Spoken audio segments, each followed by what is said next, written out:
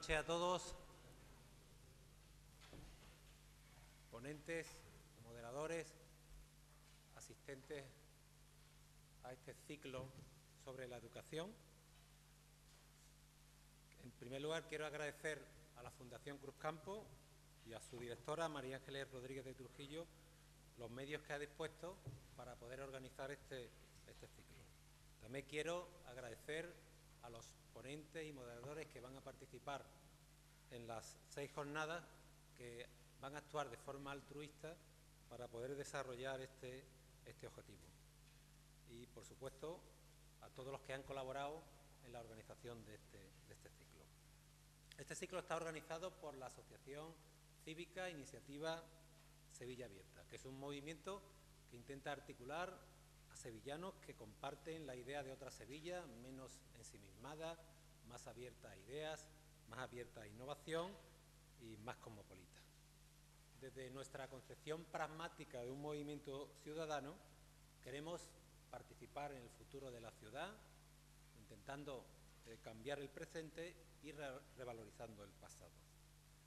Los socios que integran la, Asociación Iniciativa Sevilla Abierta eh, son personas diferentes ámbitos, de diferentes índoles, pero presentan dos características fundamentales. Una es su independencia, sustentada por la aportación económica y la participación de, todos los socios en las actividades que organizamos, y el análisis fundamental, es decir, el debate, el interés por el debate de diferentes asuntos que son, que son prioritarios en nuestra ciudad, como el que vamos a tratar en el día de hoy sobre la, sobre la educación.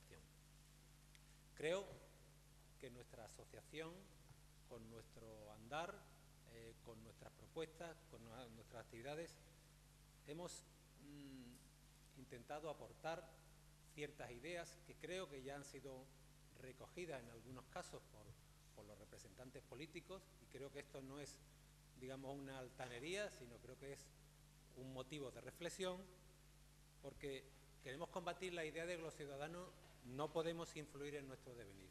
Yo pienso que sí, yo pienso que debemos y tenemos que, participar en el devenir social y político de esta, de esta ciudad y creo que tenemos ya cierta, eh, eh, digamos, cierta influencia en el debate político y en el debate social.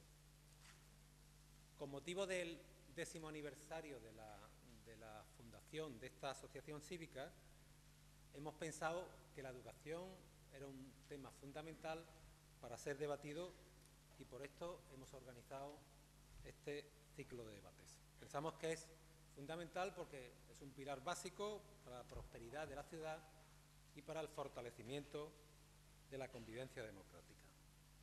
Los que pertenecemos a, a ISA somos defensores de la educación pública de calidad, como ocurre en los países más avanzados pero también somos defensores de la educación privada de calidad, porque para nosotros lo fundamental es que la educación constituya un sistema que facilite la igualdad de oportunidades para todos los ciudadanos. La educación, desde nuestro punto de vista, debe ser universal y universalizadora, para conseguir que todos tengamos la posibilidad de desarrollar nuestro proyecto de vida, diferente de los condicionamientos que todos tenemos desde el punto de vista biológico, racial, familiar, de clase social. Y para poder, digamos, conocer lo que se cuece en esta ciudad con respecto al tema de la, de la educación, es por lo que hemos organizado este ciclo de debates. Buenas noches y disfruten del ciclo.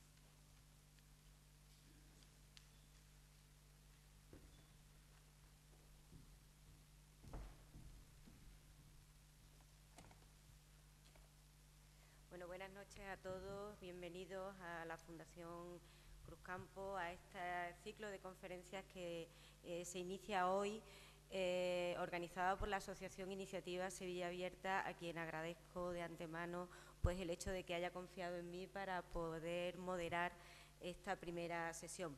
Voy a, antes que nada, voy a dar una pequeña reseña de cómo se va a desarrollar el acto para que todos podamos pues, extraer el mayor fruto de todas y cada una de las fases del mismo. Tras esta pequeña bienvenida, Bueno, y decir que vamos a darle la posibilidad, tras la presentación de nuestros ponentes, que tendrán 15 minutos para poder eh, compartir con todos nosotros sus experiencias, sus iniciativas y sus proyectos. Eh, yo lanzaré una pregunta o unas preguntas eh, en abierto. Se han entregado a todos ustedes una hoja en la que después de la información de la, de la asociación de iniciativa abierta, pues hay la posibilidad de que puedan hacer una pregunta concreta sobre algún ponente o más general. Y entonces eh, cuando yo inicié esa, esa, fase de preguntas, pues una zafata recogerá las, las preguntas que ustedes quieran y yo luego las canalizaré y podré organizarlas mejor de cara a poder desarrollar el debate lo más eficaz y eficientemente posible, que es lo que se, que es lo que se busca. Bien, dicho esto, pues paso a, si soy capaz de eh, sacar la presentación con todo lo que hay aquí. ¿eh?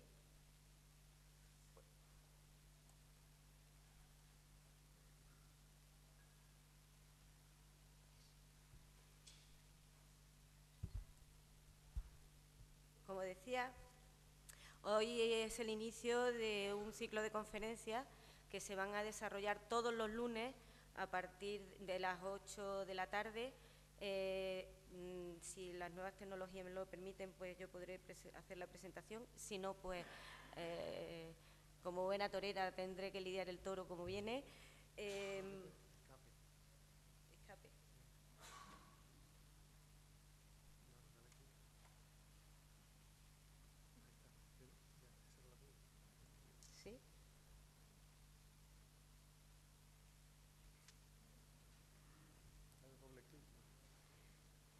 Como decía, iniciamos un ciclo de conferencias eh, que va a, va a estar compuesto por seis conferencias, 24 ponentes y que tiene como lema fundamental transformar la educación para transformar Sevilla.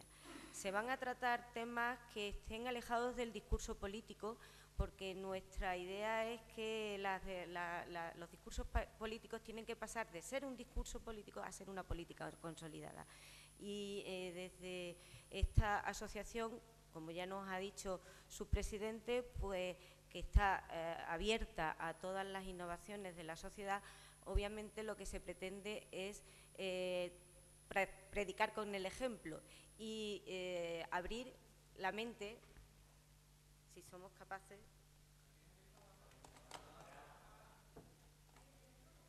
Bueno, dicen los buenos actores que siempre es bueno que ocurran este tipo de cosas para, para que se, mm, suavicen los procesos. ¿no?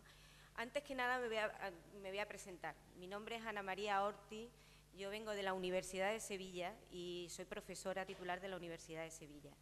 Eh, formo parte de una iniciativa que también cumple 10 años como, como iniciativa Sevilla Abierta, desde que inició eh, su andadura en el seno de la, Universidad de Sevilla, que se llama SISCAPEN. Mucha gente me pregunta, ¿eso de SISCAPEN qué es lo que es? Bueno, pues eso es un acrónimo de un proyecto de innovación que, recogía la inquietud de multitud de personas que estábamos y multitud de agentes que estábamos interviniendo, no solo en la Universidad de Sevilla, sino también fuera y que teníamos una inquietud muy grande a la hora de abordar eh, la realidad del fomento del espíritu emprendedor en toda la sociedad. Y cuando digo en toda la sociedad es porque teníamos un, enfoque muy abierto, muy ecléctico y con una visión muy generalizada y muy sistémica de, los problemas que estábamos tratando. Eh, como consecuencia de ese proyecto, bueno, pues, eh, y porque también esta mente que está aquí es muy inquieta y un poco emprendedora, propuse en la lectura de mi tesis doctoral ya hace más de 10 años el abordar el fomento del espíritu emprendedor desde todos los engranajes de la sociedad, pero de una perspectiva académica, como complemento al concepto del entrepreneurship ¿eh? y que se pudieran visualizar desde otras disciplinas diferenciadas. Y lo propuse así, pues como el que no quiere la cosa, delante de un tribunal de, de tesis doctoral y me dijeron, sí, sí, bueno, vale, vale. Bueno, pero es que las innovaciones se tienen que hacer, se tienen que proponer y luego se tiene que ser consecuente con la misma. Yo lo llamé emprendedorismo porque creo que muchas iniciativas a veces se le tiene que poner un nombre, especial, un nombre diferenciado para que tengan vida. Y por otro lado, pues hemos desarrollado una metodología, una metodología que intentamos aplicar en, el entorno universitario y que propusimos como una innovación docente hace bastantes años, fue premiada y la llamamos metodología del coaching learning, porque consideramos que eh, desde la universidad ya no se podía hablar de formación, sino de capacitación. Y para ello vamos a utilizar un método, un método que es el acompañamiento en el descubrimiento de todas esas capacidades. Que estoy o vengo de muchas realidades dentro de la Universidad de Sevilla que tienen su particular idiosincrasia y su particular forma de entender la realidad. Como ves, el estoy adscrita al Departamento de Administración de Empresas, la eh, Facultad de Ciencias Económicas y Empresariales y doy clases en Facultad de Ciencias del Trabajo, en, en Ciencia de Comunicación y desde esa perspectiva más humilde en el sentido de que trabajo desde el día a día la variedad idiosincrásica que puede constituir la aplicación de nuevas metodologías en la realidad universitaria. Y bueno, ya sin más, mm, a modo de me traía un vídeo preparado, pero no, hemos visto que no se oye muy bien y entonces pues hemos preferido pues no, no, no ponerlo, sino simplemente pues dejar eh, su contenido. Su contenido es el siguiente. Eh, nuestros jóvenes, nuestra sociedad actual, desde finales, de, mediados del siglo pasado hasta nuestros siglos, pues podemos agruparlos en la sucesión de diversas generaciones. ¿eh? desde 1900, hemos hablado de la generación baby boom, que, que son personas que nacieron desde los años 50 a mediados de los 60, la generación X del 65 al 81, los millennials, que son los que nosotros ahora eh, a nivel universitario estamos trabajando con ellos desde los 80 a los, eh, que nacieron desde el año 80 al 94, y la generación Z, desde 1995 hasta hoy. Aquí tenemos eh, importantes representantes de distintas iniciativas del sistema educativo que han atendido y que, son y que son conscientes de esa variación generacional que hemos tenido a lo largo de todos estos años. Mi pregunta general sería, eh, ¿nos encontramos ante, al frente de una nueva generación qué modelo educativo o qué, educación necesitan nuestras nuevas generaciones para poder adaptarse al mundo de hoy. Para dar respuesta a esta cuestión o a esta inquietud, tenemos una mesa compuesta por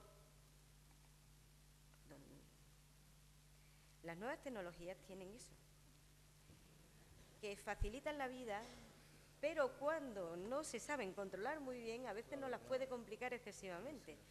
Y doy fe de ello. ¿eh? Por ahí estamos. Aquí estamos. Aquí estamos. Bueno, voy a presentar a, nuestro, a nuestros ponentes. En primer lugar, don Juan Andivia Gómez, eh, que dentro de su currículum pues existen muchísimas reseñas. Yo he destacado una que se, refleja con las banderitas, como ves, banderitas de Alemania, de Francia, de Italia. Doctor en Filología y Premio Extraordinario de Carrera. Eh, trabaja eh, como profesional docente e investigador en la Fundación de San Pablo CEU de Andalucía jefe de sección del programa de planificación de Centro de Educación Infantil y Primaria en la Consejería de Educación desde el 96 al 2002. En 2005 llegó al Instituto de Educación Secundaria Martínez Montañés, que como todo el mundo sabe, pues es una iniciativa que está implementando el bachillerato internacional desde el ámbito público Premio CODAPA, que es un premio que da la Asociación de Padres de Alumnos y además que resaltan la excelencia en los modelos de gestión y que eh, fue concedido a Juan, bueno, al centro, al centro en 2009. Y bueno, mm, como le comentaba antes, mm, las presentaciones siempre pues se quedan un poco constreñidas a la valoración de los méritos que se recogen en el currículum. Muchas veces las personas dicen más de ellas mismas con lo que son que con lo que cuentan, ¿no? O con lo que han conseguido. Entonces, pues estoy convencida de que Juan eh, nos mostrará más de toda su excelencia con su participación que con sus datos curriculares. En segundo lugar, porque me han dicho que los yo me lo traía preparada para presentarlo poco a poco, pero me han dicho no, mejor todo junto. Don Luis Rey Goñi, que como ya todos ustedes saben, pues es el flamante director del Colegio de San Francisco de Paula, que también, que también desarrolla el modelo del bachillerato internacional, pero en este caso desde la iniciativa privada. Es doctor en Ciencias Químicas por las universidades de Bolonia y de Sevilla y con formación de posgrado en la Universidad Singular o en la Singularity University y Harvard. Eh, el, proyecto de la Universidad Singular es muy interesante, eh, lo, lo, vamos a compartir con ustedes porque creo que me parece, me parece que es algo bastante, bastante curioso. Impulsor de una profunda renovación metodológica y tecnológica orientada fundamentalmente a preparar a sus alumnos para el mundo que viene. Ya nos contará cómo él desarrolla o cómo él concibe esa preparación y, esa, y sobre todo los mecanismos de control y de evaluación de resultados que tanta excelencia le están proporcionando a su modelo. Y en tercer lugar, vamos a presentar a, Maite, a María Teresa Alonso Pérez Tinao, que yo le comentaba al principio de la intervención. Creo que tú y yo nos conocemos, si no de ahora, en otra vida, pero hemos tenido que tener algún contacto porque desarrollamos unos proyectos muy parecidos, muy similares, con una esencia estructural muy, muy, muy común, aunque de realidades totalmente distintas. Y entonces, en ese sentido, pues me he sentido muy conectada con ella cuando he visto su, cuando la, la, he visto aquí como ponente, ¿no? Tiene una vida personal y profesional muy ligada a la congregación de las Carmelitas de la Caridad. Es fundadora de la Geranios Language Institute, que lo que pretende es fundamentalmente formar a profesionales para la formación de, múltiples lenguas. Eh, creo que ahora está, en esa, está desarrollándose su actividad profesional en esa línea y bueno, y una cosa que me pareció muy importante, yo creo que dice mucho de las personas, y es que está a punto de, incorporarse al cuerpo de doctores de la Universidad de Sevilla con su tesis doctoral sobre formación de profesorado en programa bilingüe. Es muy importante porque mm, destacar este hecho porque para todo doctor existen pocos días especiales en su vida mm, profesional y personal. Uno es el día que se casa, otro el día que tiene su hijo y otro el día que lee su tesis doctoral. Es un día muy importante y por eso yo he querido reseñar ese, dato porque creo que para ella emocionalmente pues es muy importante.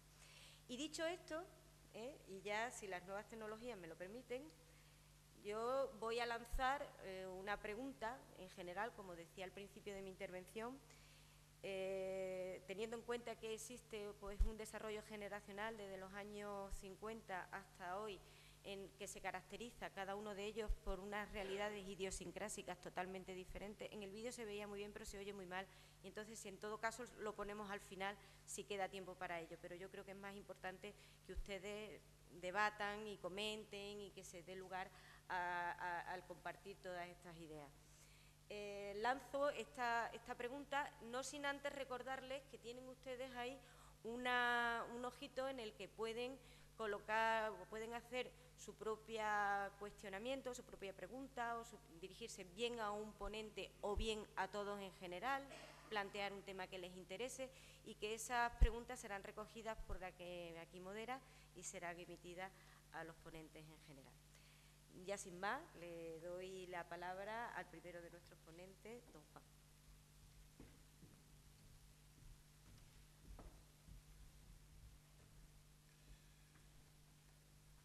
Bien, eh, Mientras tanto, les diré que les habla un representante de todas las generaciones que se han enumerado y espero también ser de la próxima.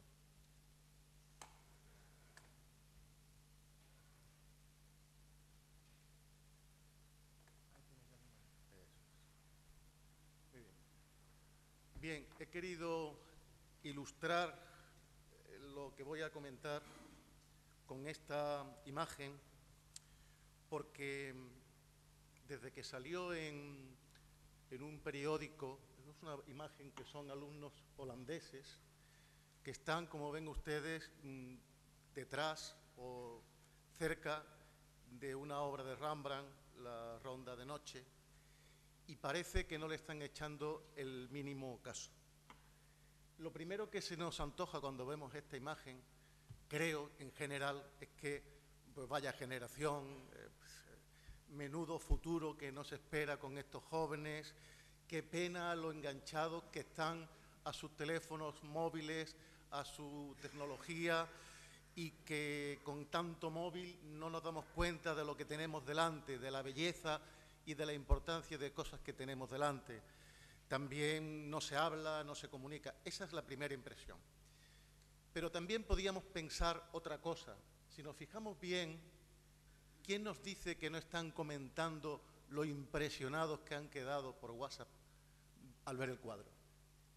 Están viendo el cuadro y dicen, oye, eh, esto es magnífico, estoy impresionado verdaderamente. Es decir, ¿por qué mm, no pensamos, no pensamos que hay un pensamiento divergente y, a partir de eso hay un aprendizaje que podemos llamar ubicuo? Estamos interactuando todos. Yo estoy hablando con mi madre que está en, Sevilla o en Huelva y estoy en Ámsterdam, en un viaje de, estudios.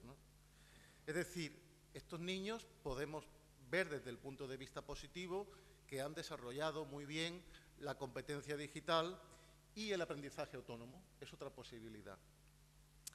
Los niños que vemos ahí somos todos nosotros. Eh, grabamos los acontecimientos de nuestra vida, grabamos las bodas, las comuniones y los bautizos. Obama se hace una autofoto, un selfie en, el funeral de Mandela.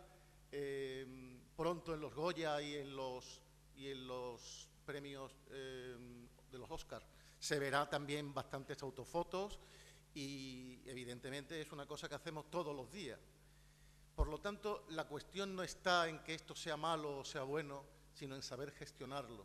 Lo primero que tenemos que pensar es que el que tener muchos medios a nuestro alcance no es ni bueno ni malo, sino es una cuestión de saberlo aprovechar. Es decir, nuevas tecnologías, smartphone, teléfonos móviles y enseñanza-aprendizaje no son incompatibles. En primer lugar, eso es lo que quería decirles. Pero voy a intentar dar a la pregunta que nos ha lanzado la moderadora, muchas gracias Ana por la presentación, y también al, tema del día de hoy, tres posibles respuestas que son eh, complementarias y compatibles, creo yo. La primera pregunta, la primera respuesta sobre la pregunta de qué tienen que hacer los jóvenes, los niños y los adultos en el mundo de hoy para no quedarse atrás, evidentemente es aprender de esa inteligencia colectiva, esa inteligencia que tenemos todos al alcance de la mano. Es decir, tienen que saber elegir las fuentes, em, espigarlas, dosificarlas, hacer que esas fuentes sean auténticas, porque es muy curioso observar como muchos de nuestros eh, jóvenes, y ahí meto a mis hijas, están con su teléfono móvil todo el día y me preguntan, papá, ¿qué significa tal cosa? Cuando el papá, que también tiene un teléfono móvil, cuando no se acuerda o tiene que ver qué significa tal cosa, se va a la aplicación del DRAE, que ya la tiene bajada en el, teléfono móvil o, en la tableta. ¿no? Entonces, eh, habría primero que, hacer que estos chavales tengan esas fuentes, sepan a qué fuentes tienen que recurrir. Evidentemente, para eso hay que dotarlos de una competencia digital, como he dicho antes, y fomentar desde el principio, desde la niñez, la curiosidad, la curiosidad intelectual, obviamente, en contra de otro tipo de curiosidades que tanto denostamos. Por supuesto, es importante que estos alumnos, desde, primero, desde principio, de primaria, tengan una autonomía personal y todo esto ni siquiera sería suficiente, porque si queremos formar un ciudadano del siglo XXI, que es de lo que se trata, tendremos que pensar que es fundamental que sea políglota o por lo menos que domine alguna lengua, además de la materna. Hombre, políglota, vamos a aspirar a lo máximo, nos quedamos en el 50% y hemos conseguido mucho, ¿no? Pero quiero decir que, evidentemente, el aprendizaje de los idiomas es fundamental.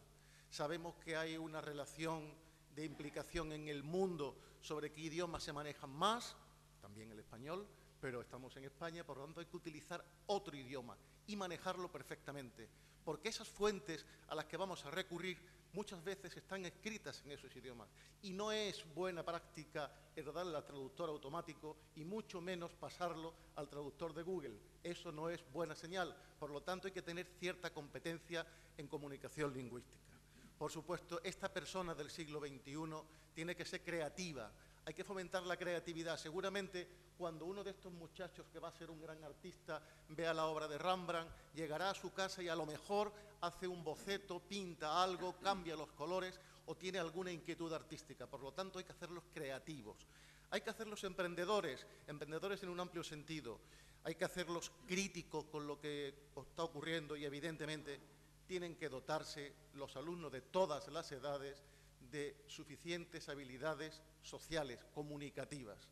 Es impensable que cuando llegamos, cuando se llega a la universidad, como bien nos decía un representante de la autónoma cuando nos ha hecho un estudio sobre bachillerato internacional, es increíble que se le diga a un alumno de primero o de segundo incluso, bueno, pues expon tu el trabajo. Diga, bueno, es que yo no estoy acostumbrado.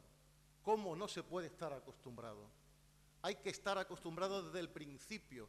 La oralidad, la formación oral tiene que ser, tiene que estar incluida en todas las materias. Lo sabemos, se dice para los docentes que se incluyan en las programaciones, pero hay que hacerlo. El alumno tiene que salir sin complejos. Saben ustedes, siendo como somos todos españoles, que uno de los problemas que hemos tenido para aprender idiomas ha sido nuestro complejo. Todos los extranjeros hablan un español horroroso y, van aprendiendo. Nosotros hemos tenido, sobre todo los de las generaciones anteriores, un complejo que hay que quitarse, hay que intentar y hay que aprender. Por lo tanto, es fundamental todo eso. Eh, la pregunta sería que, bueno, ¿quién enseña todo esto? Y entramos en otro, en otro tema. Pues yo me he traído unos recortes de prensa que no les voy a leer entero, pero sí les voy a leer solo el, el título. De Europa Press salía esta semana pasada, estos recortes de prensa son de esta semana última. Decía, mala gestión de la formación profesional en Cataluña. Como consecuencia de la mala gestión de la formación profesional en Cataluña, hay una escasa inserción laboral. Otro, que este le suena muchísimo, el periódico, bilingüismo de fachada decía que hablaba de la Comunidad de Madrid y decía que Esperanza Aguirre había propuesto no sé qué, había hecho no sé cuánto, y, pero que a la hora de la verdad, después de diez años, los niños seguían sin ser bilingües. A nosotros en Andalucía nos suena muchísimo eso, ¿verdad? Eh, hay muchos colegios bilingües y va a haber más, pero yo quiero ver cuántos alumnos salen con suficiente capacitación lingüística en ese idioma extranjero que han aprendido y en el que han estudiado no solamente las materias propias del idioma, sino también las ciencias naturales o las sociales o lo que sea. Me gustaría verlo. ¿no? Y por último, también veo algo en el periódico, con fecha de, creo que del 7 o del 8 de, enero, un informe de la OCDE que dice que la Unión Europea reprende a España por el pobre reciclaje de los profesores. Bien, esto eh, es muy curioso. Resulta que los profesores españoles mm, se reciclan, me voy a excluir, perdónenme, ¿eh? se reciclan muy poco, mal, y tienen cierta resistencia a lo que se llama la evaluación de la práctica docente. Entiéndase la evaluación de la práctica docente como algo que hace mejorar al docente y evidentemente repercute en el alumno. Entonces, nosotros tenemos pues unos datos muy inferiores al resto de la Unión Europea. Eh, eso nos tiene que hacer pensar en algo, ¿no? Evidentemente, cuando, cuando yo hice mi tesis doctoral, tuve que irme a Madrid, sacarme el carnet de la, de la Biblioteca Nacional, que es una gozada, aprovecho para decirle que vayan ustedes a verla porque da gusto, Eh, tuve que irme a Santander porque el autor vivía en Santander. Venía con papeles, con notas, con un fichero y luego mm, al final del todo pude pasarlo a un ordenador que solo tenía disco externo porque no había otro. Y bueno, eh, temía que si se me perdía aquello, se perdía todo lo que estaba. Hice varias copias, las guardé en distintos sitios, en casa de mi hermana. Esa era la forma de trabajar de entonces. Hoy día, lo que yo tardé en hacer cinco años, seguramente lo puedo hacer en la mitad. Hoy día toda esa información está ahí, todos los recortes de prensa que yo tuve que ver, tuve que sacar y anotar, los tengo ya en Internet, en las hemerotecas están perfectamente. Es decir, el mundo evidentemente ha cambiado. Luego, si el mundo ha cambiado y estos sistemas están universalizados y tenemos estos miles de sistemas operativos y, todo lo tenemos a día de hoy, yo recuerdo una, frase de, Giovanni Papini que decía que él antes leía para aprender y dice, ahora no, ahora leo para olvidarme de todo, para desconectar. Pues esto viene a cuento, es decir, tenemos todo tan a la mano, todo es tan cercano que evidentemente se puede acudir a él, pero hay que saber, hay, tiene que haber quien enseñe a estos niños, a estos jóvenes y a estos adultos, a estos adultos, luego hablaremos de la brecha digital, llamada brecha digital, eh, a utilizar los medios que tenemos en nuestra mano. Otra respuesta posible a todo esto es que, evidentemente, después de lo que acabo de decir, urge un cambio de la figura docente. Es decir, el rol del profesorado no debe ser, esto ya llevamos mucho tiempo oyéndolo, el de el dictador, entiéndase que dicta, ¿no? entiéndase otra cosa, y, y, bueno, y que da su lección magistral y los alumnos, pues muchas veces si tuvieran la oportunidad de desconectar, desconectarían, lo hacen, hay que estar muy atentos porque si no lo hacen, eh, y si no, ocurre algo peor, se duermen, no están, se pierden y al final de su etapa no han aprendido casi nada. Por lo tanto, es muy importante que el rol nuevo del profesorado sea distinto. Hay que trabajar de una forma colaborativa con los alumnos y con otros profesionales de la enseñanza cuánta resistencia que un compañero entre en mi clase cuando eso es lo mejor que te puede ocurrir. Primero puedes mm, eh, personalizar la enseñanza, puedes eh, dedicarte a un alumno que tiene dificultades, puedes motivarlo de otra manera. Bueno, y también, por supuesto, la figura que aquí no existe, que es la del mentor, coach, también, que, que acompaña al alumno simplemente en su aprendizaje. Bien, ¿qué se está haciendo en Finlandia? Pues en Finlandia se está haciendo algo fundamental, que es cambiar cada vez. Es decir, eh, ya el método anterior ya no sirve, ya ahora tienen otro método. Se van anulando las asignaturas. Ahora hay unos centros, hay unos, unos, bloques temáticos en los que se centran eh, los alumnos y todos participan. evidentemente, eh, esto ha, ha sido posible porque el 70% de los profesores, profesoras del SINCI habían sido ya entrenados en la aplicación del nuevo método hasta el marzo pasado. Es decir, eh, hay un nuevo método, hay una nueva perspectiva, hay algo que hacer y la gente voluntariamente, porque pretende hacer su trabajo lo mejor posible, porque desengañémonos, hacer el trabajo posible es un acto de, gran egoísmo, pero que nos satisface muchísimo, salimos muy contentos, vemos cómo nuestros alumnos, eh, cuando vemos alumnos excelentes, nos encontramos muy a gusto. Cuando dan premio a los alumnos nos sentimos como si fuéramos sus padres y no somos sus padres, pero eh, estamos satisfechos con ello, ¿no? Bueno, pues lógicamente eh, el hacer esto supone un reciclaje y cuando digo reciclaje no quiere decir que estemos anticuados. Evidentemente se pueden usar muchos métodos, distintos métodos. Cuanto más métodos distintos, mejor. No hay nada más aburrido que el Señor que todos los días llega y ya sabe lo que va a decir, lo que va a hacer, cómo se va a sentar, cómo se va a colocar y que diga abrir el libro por la página 27. Es un poco... Por lo tanto, la tercera respuesta a esta pregunta sería que la segunda sería que hay que eh, cambiar el rol del profesorado y su formación. Su formación inicial, fundamentalmente, inicial. Y, por supuesto, su adecuación y su actualización continua. Bien, por último, eh, como una tercera respuesta a la gran pregunta, sería que si este mundo del que estamos hablando y que da título al, título, que es, que es abierto, este mundo abierto tiene que dar respuesta a, toda, a todas las, las personas que están dentro de este mundo. Es decir, tiene que haber una gran, eh, gran atención a la diversidad. Eh, tenemos la costumbre de saber, tenemos la costumbre y estamos eh, en ello en la mayoría de los centros, de que hay una, serie de recursos pensados para atender a, aquellas personas, aquellas personas, aquellos alumnos y alumnas que tienen problemas de aprendizaje, que tienen dificultades socioeconómicas, que se integran mal en el sistema porque llegan tarde de su país o llegan a mediados de curso, porque no conocen el idioma. Tenemos eh, pequeños departamentos de orientación con pocos recursos, pero existen. Y bueno, en la educación pública de la que estoy, hablando, aunque nos hace falta más recursos, pero se atienden a aquellos alumnos y alumnas que tienen dificultades. Pero se nos había olvidado que hay alumnos que se aburren, que se sienten raritos, porque ellos no están de acuerdo con aprender tanta tontería, que quieren más, que se sienten tan raros como el que no sabe nada, y es porque su interés está en otra parte. Y esa parte de la atención a la diversidad solo se le da una respuesta mínima. En nuestro caso, en el caso de nuestro centro, que por supuesto atiende a las demás, se le da eh, respuesta con el bachillerato internacional, pero como sé que Luis Rey va a hablar perfectamente de esto y con muchos datos, eh, le dejo a él esa, esa oportunidad porque me parece que lo hará muy bien, pero es una posibilidad. Tenemos en Andalucía un solo centro público y, bueno, es el más antiguo de Andalucía y el único centro público.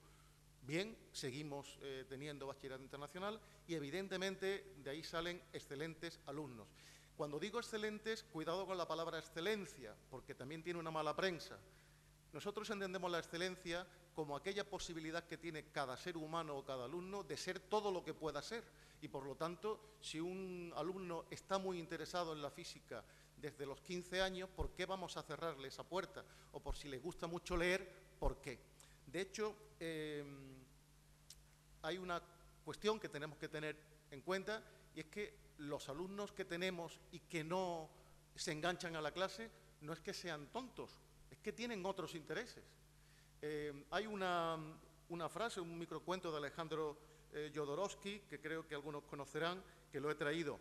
Dice, imaginemos la escena del maestro de Kung Fu, él con su, su imagen, ya se imaginan ustedes, y nuestro, kung fu que le pregunta, pero en este caso el maestro sí es el maestro, tiene esa autoritas, pero eh, es una madre y le pregunta, maestro, tengo un problema con mi hijo. Mm, me trajo las notas del colegio mm, y una era una alta calificación en dibujo y una pésima calificación en matemáticas. ¿Qué harás? dijo el maestro. Lo pondré de inmediato a tomar clases particulares con un profesor de matemáticas. Respuesta del maestro, necia. Ponlo de inmediato a tomar clases particulares con un profesor de dibujo. Todos servimos para algo, pero no todos servimos para lo mismo. Esta, esto es importante. Hay centros, hay, hay eh, eh, posibilidades de hacer que el alumno se interese por algo, hay aprendizajes en proyectos. Como me toca hablar, quiera que no, como director del Instituto Martínez Montañés, decir que ojalá todo esto que yo digo se hiciera en mi centro. Eh, yo, aparte de animar a quienes lo hacen, poco más puedo hacer, ¿no? Y aprovechar la ocasión para compartir las reflexiones con todos ustedes. Para terminar, decirles que el maestro tiene, como saben, sabemos todos, la profesión, el empleo, la función más importante de la sociedad. Evidentemente, no olvido a los sanitarios y a otras personas, pero... Y como tales, debemos ser valorados. Cuando hablo de valor y de valoración, no me refiero únicamente a lo económico, que también, porque es un índice, ya sabemos que, mm, ¿qué le voy a decir yo? No quiero decir ninguna profesión, pero una profesión manual, digamos. ¿Qué le voy a decir yo si este tío gana cinco veces más que yo? Bueno, pues eso es importante. Pero no solamente eso, es hora ya de que dejemos de hablar de educación como arma política. Vamos a sacar la educación fundamentalmente no de los programas políticos, no, no, sino de la política. Vamos a pensar en otras posibilidades. Vamos a llegar, por favor, siempre que podamos, vamos a decirlo, a un pacto por la educación que es fundamental. Segundo, decirles también que es fundamental que este sistema que es tan abierto sea siempre esté siempre pensando en una escuela inclusiva, insisto, inclusiva desde el que tiene problemas de aprendizaje por alguna razón hasta el que se sale, como decimos, porque quiere más cosas. Si quiere más, se le puede dar más. Bien, también habría que, darle a todos los mm, alumnos que estén en nuestras manos la posibilidad de apreciar el arte, la formación artística, que tanto la, sensibilidad artística. Seguro que el chico este de la, anécdota eh, será al fin y al cabo un gran dibujante y será feliz y útil a la sociedad. ¿Por qué más queremos? No? En fin, los currículos deberían estar centrados en los valores y en las competencias. Y habría que establecer una nueva relación entre los centros, ya me estoy pasando, ¿no? Eso por no verme cronometrado, ya termino, entre los centros y las universidades. Es decir, es que es muy curioso. Eh, tenemos un plan de tránsito que hace que se supone que, establecemos una relación entre, entre, nuestra escuela primaria y la secundaria. Bueno, más o menos. Eh, la verdad es que mm, una cosa es lo que se haga en cuanto a los papeles, pero el resultado no, suele, no siempre es estupendo. Pero luego al chico se le abandona para entrar en la universidad y no hay ninguna relación. De hecho, la mayoría de los profesores universitarios y no universitarios no tienen ni idea qué es el bachillerato internacional, eh, por, ejemplo. ¿no? Bien, habrá que romper la brecha tecnológica que decían los adultos, procurar una financiación que sea prioritaria y equitativa y, como ya me he pasado del tiempo, resumir en seis, sí, en seis eh, aspectos lo que yo creo que debe saber, que debe conocer un niño, un joven y un adulto para no quedarse atrás en este mundo. Un buen nivel de idiomas, lo voy a decir sobre todo del inglés, saber consultar digitalmente las fuentes apropiadas, hacer los seguimientos de expertos, hacer que se interesen por expertos, que los hay en todos los sitios, usar adecuadamente las redes, cambiar la forma de pensar y observar, en el caso de los adultos, a las generaciones más jóvenes de las que también tenemos que aprender y mucho. Así que, bueno, a ver quién le pone el cascabel al gato.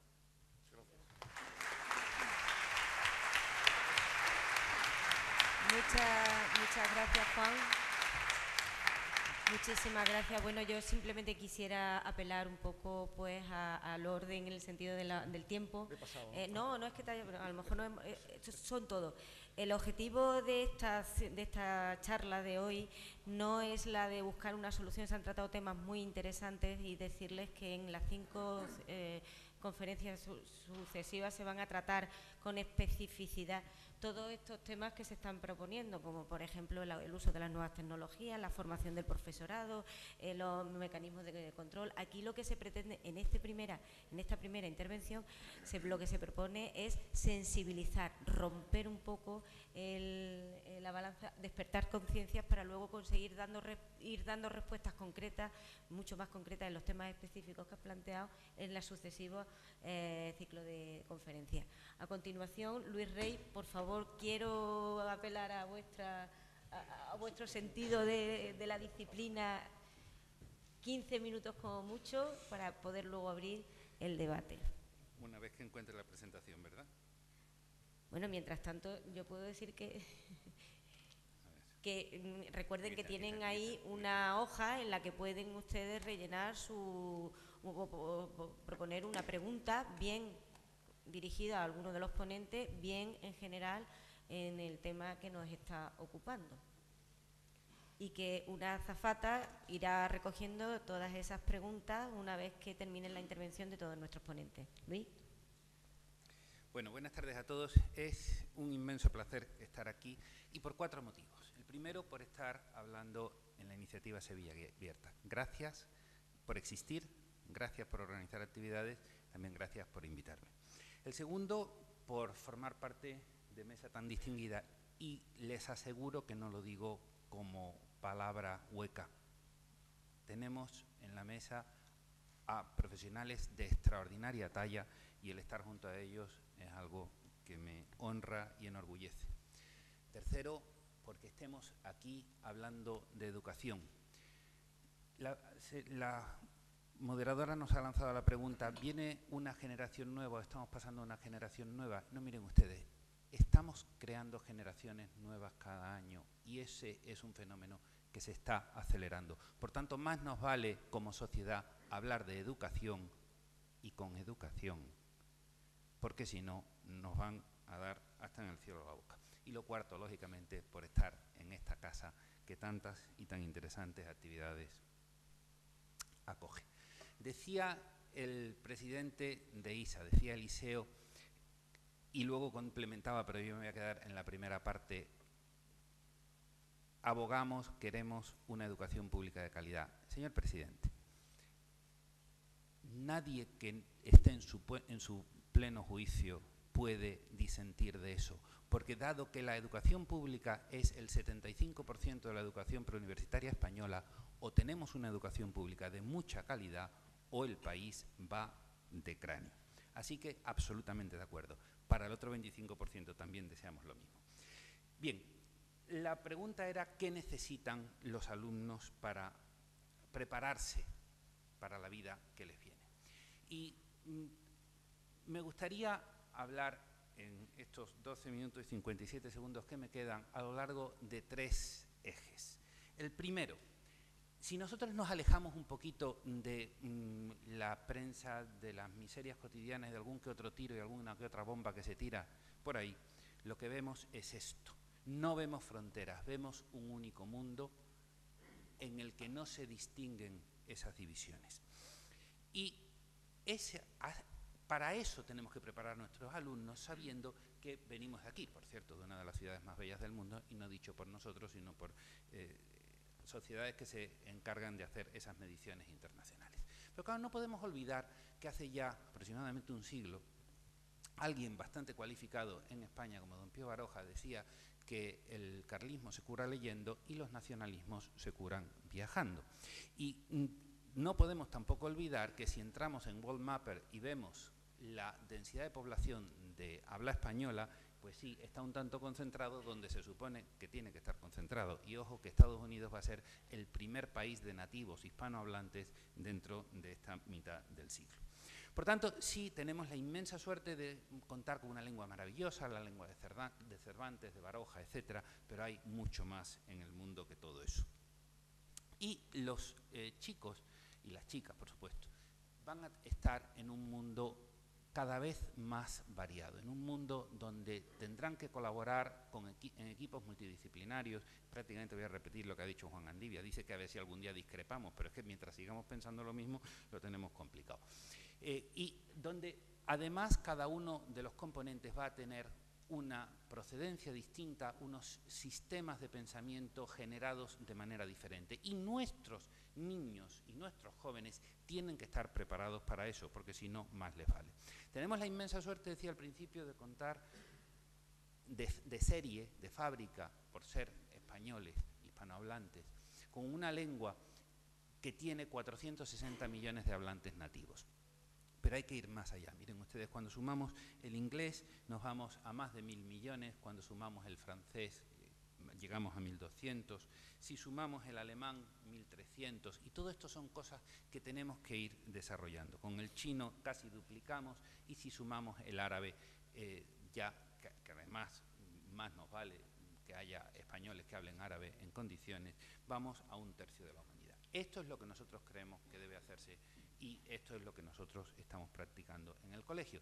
Hablaba también Juan del bilingüismo real. Eh, miren ustedes, en España tenemos dos grandes problemas educativos. El primero, mm, que los políticos usan la educación de garrote para darle en la cabeza al contrario, pero claro, por la tercera ley de Newton, la misma fuerza recibe el garrote y está a punto de romperse de tanto, de tanto cabezazo, de alguna cabezadura. Y dos, que se doblan las series extranjeras. En Escandinavia hablan maravillosamente inglés, pero no porque empiecen antes que nosotros. De hecho, en Finlandia empiezan en el colegio a los siete años, pero es que a los siete años ya les suena el inglés porque lo oyen todos los días. Nosotros creemos que hay que ir a la, al, bilingüismo real. ¿Qué ha pasado aquí? Eh, esperemos que no. Bueno, si estorba un poco ya se, ya se quita. Ah, no, es que a mí me había salido un cuadradito aquí delante. Eh, decía, debemos ir al bilingüismo real y eh, los programas del bachillerato internacional, en ese sentido, que tiene cuatro, nosotros estamos implantando ahora el de primaria, tenemos el de secundaria y el de bachillerato desde hace algunos años, no tanto como el Martínez Montañés, que tiene un grandísimo mérito eh, y que merece todo el reconocimiento de Sevilla y de Andalucía por la labor que hace. Además de ese hay un programa del, equivalente a la formación profesional y poco a poco, y lo escribíamos recientemente en la agenda de la empresa andaluza, hay autoridades españolas que se van dando cuenta de que hay que apostar por los programas del bachillerato internacional, primero por la calidad que tienen y segundo porque extrae a la educación del debate partidista. Es demasiado importante como para que esté sometido a debates o a cambios legislativos cada dos por tres. Además, el bachillerato internacional está creciendo muchísimo, esa es la perspectiva de crecimiento que tiene la organización en una eh, transparencia de hace no mucho tiempo, algunos años, pero no muchísimos, un crecimiento exponencial. Y por tanto, nos da la posibilidad de, cuando digo dos, nos, me refiero a los que tenemos eh, algunos de los programas del bachillerato internacional, nos da la posibilidad de compartir las mejores prácticas educativas con muchos de los mejores centros del mundo e ir aprendiendo de ellos en una evolución gradual y regulada por el conocimiento pedagógico, por el conocimiento neurológico, por el sentido común, que de vez en cuando también falta, y por los acuerdos internacionales. Bien, además debemos aprovechar, y lo mencionaba también don Juan Andivia hace un momento, las ocasiones que dan las actividades escolares para fomentar el aprendizaje. Eso es una imagen tomada hace pocos días de las jornadas de México que hemos celebrado en el colegio. Yo les garantizo que por muy gordo y muy temible que pudiera haber sido un examen que hubiéramos anunciado a los alumnos, no iban a haber trabajado más de lo que han trabajado para preparar las jornadas nacionales. Porque no nos equivoquemos.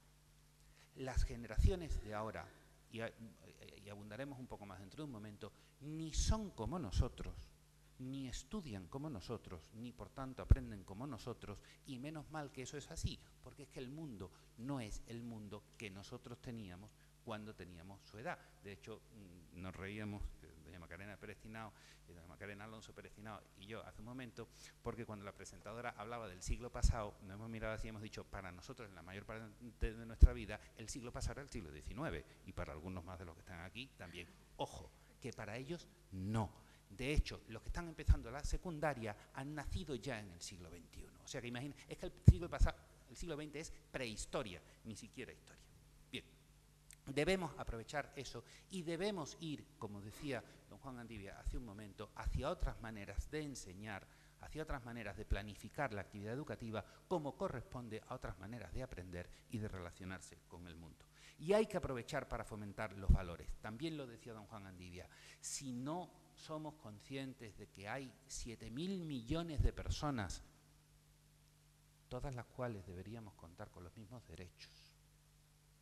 Si no somos capaces de utilizar los recursos del mundo occidental, del mundo avanzado que decimos, para que nuestros alumnos entiendan la obligación ética que tienen con respecto a aquellos que han nacido en situaciones más desfavorecidas, estamos haciéndoles un flaco favor a ellos y también a los demás.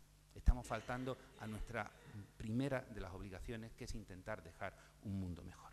Segundo eje. También lo ha dicho don Juan Andivia. No hay dos personas iguales, pero además, además, cada vez más, las personas estamos siendo diferentes. La Sevilla de mi niñez, en el siglo pasado, era el 20, no tenía nada que ver con la Sevilla de ahora. Recuerdo la primera vez que fuimos a Londres y a mí me sorprendió con 12 años la variedad tipológica y de aspecto de las personas. Eso ya está aquí y mucho más en otros sitios. Pero también se sabe mucho más de neurología y tenemos que preparar a los niños sabiendo esas diferencias de las que hablaba don Juan Andivia. Hace falta una educación más individualizada que vaya a apoyar a los alumnos en esas debilidades que tienen, porque cuando son graves, por supuesto, hay que atenderlas y que, por supuesto, fomente esas, esas fortalezas.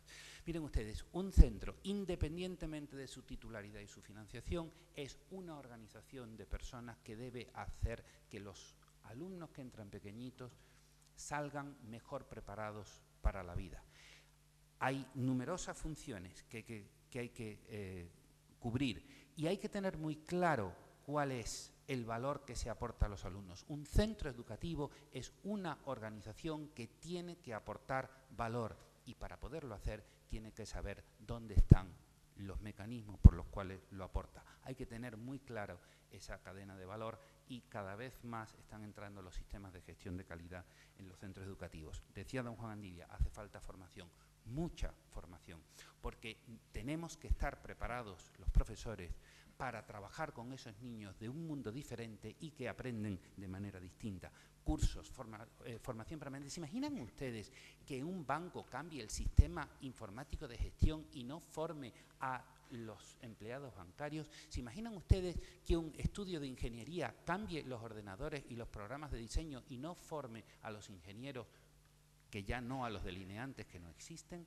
¿Cómo podemos tener a los docentes sin una actualización permanente? Es una barbaridad, es un disparate y estamos sembrando el desastre del sistema educativo poquito a poquito. Pero no se olviden ustedes de que ya en el año 70, eh, don José Luis Villar Palasí, en la Ley General de Educación, decía que la clave del sistema educativo era la formación del profesorado y han hecho falta seis leyes orgánicas y 39 años para cambiar del CAP al máster de secundaria. Eso es lo que importa la educación en España. Nosotros eso lo estamos intentando fomentar y así es como está creciendo la inversión en formación y desarrollo profesional en nuestro centro. Ya hemos pasado los 150.000 euros año. Tercer eje, ya lo ha dicho también don Juan Andivia, eso es un chico hoy. En un mundo digital hay unas islas analógicas que se llaman aulas de colegios donde todo lo que es normal fuera está prohibido. No puede ser. Por supuesto que hay que utilizar los dispositivos digitales, hay que utilizarlos bien. Yo recuerdo haber leído en la documentación del colegio, un minuto 52, haber leído en la documentación del colegio que existían catedráticos de caligrafía en los institutos, igual, igual que existían los profesores de caligrafía en los colegios, que ahora no hay de lengua y los demás nos ocupamos de que la letra sea legible, por supuesto. Pero es que hay conocimientos que ya no, ya no son lo que hace falta. Eso significa que no deba haber calígrafos. Hay personas que ganan maravillosamente la vida haciendo unos rótulos preciosos, infinitamente mejores de lo que vamos a poder hacer cualquiera de nosotros nunca, pero es que tampoco lo necesitamos. Y por tanto, dado que y esto es de una noticia del año 14, los jóvenes están conectados todo el día, más nos vale tenerlo en cuenta. Nosotros fuimos eh, a Silicon Valley a intentar aprender para dónde va a evolucionar el mundo, porque si en algún sitio lo saben es allí. Singularity University se, se ha mencionado a través de la Fundación Goñi Rey. El año pasado trajimos a la cumbre de Singularity University y ahora en Sevilla tenemos uno de los capítulos de Singularity U el segundo de todo el mundo junto con Tel Aviv. Y ojo que a final de año ya eran 29, o sea que hemos cogido la delantera gracias a ello. Y voy terminando. Miren ustedes, eso es la... Sí, 34 segundos, soy consciente. Eh, eso es la gráfica de cómo se calcula que va a evolucionar la capacidad de computación de los ordenadores contado en cálculos por segundo y por mil dólares equivalentes del año 2011. Eh, no me, no me extiendo, pero sí le señalo que para el año 2023 se calcula que un ordenador de los de mil dólares, un ordenador de los de mil dólares es prácticamente poco más que esto. Mm, va a tener la capacidad de cálculo del, cerebro humano y en el año 2050 la de la humanidad entera. Y termino, en 2025 eso será lo que esté pasando y en 2050 será eso. Luego, imagínense ustedes si tenemos que formar a los profesores y cuando los alumnos lleguen a clase en primero de secundaria llevan un, cerebro adicional perfectamente equipado. Esto da susto. Y recuerdo en Harvard, eh, en uno de los cursos del futuro de la, del futuro del aprendizaje, el Future of Learning, teníamos que plantear una pregunta al principio y yo decía, ¿cómo optimizar la tecnología, minimizando el esfuerzo, creando valor y sin daños colaterales. Y mi conclusión fue esa, es un gran signo de interrogación. Un gran signo de interrogación porque tenemos que aprender a navegar la incertidumbre, porque no estamos acostumbrados para esto. Lo que hay es que instigar, inspirar y practicar esos valores, el del esfuerzo, por supuesto, pero no solo, y, e ir aprendiendo, sabiendo que las generaciones nuevas no son más tontas, igual que nosotros no somos más tontos que los de hace 100 años. Seamos un poco optimistas trabajando por ello y hagamos que nuestras generaciones aprovechen sus capacidades como nosotros tuvimos aprovechar las nuestras. Por supuesto, y está viendo don Rafael Leña, no podría dejar de mostrarlo, fomentando la creatividad, porque sin ello no vamos a ningún sitio. Muchísimas gracias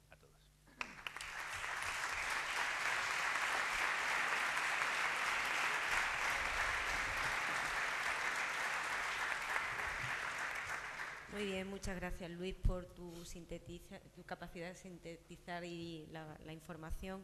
Y recordar a todos que bueno que esto es una mesa eh, de debate abierta y que va a dar pie a tratar específicamente los temas que se están aquí proponiendo sobre la mesa, la formación del profesorado, la formación en valores, la formación transversal, la formación bilingüe, la utilización de las nuevas tecnologías. Eso se va a tratar específicamente en, otra, en otras mesas redondas, así es que está, está muy oportuno y muy, muy aceptado. Muchas gracias.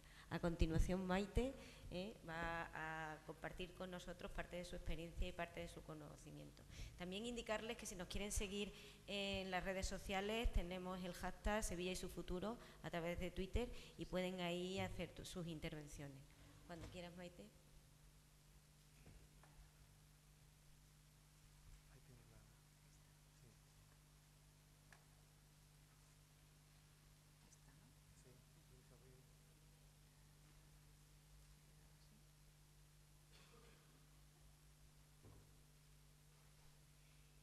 Mientras tanto, recordarles a todos que pueden hacernos llegar sus preguntas ¿eh? por escrito una vez terminen las intervenciones, que las recogerá nuestra zafata.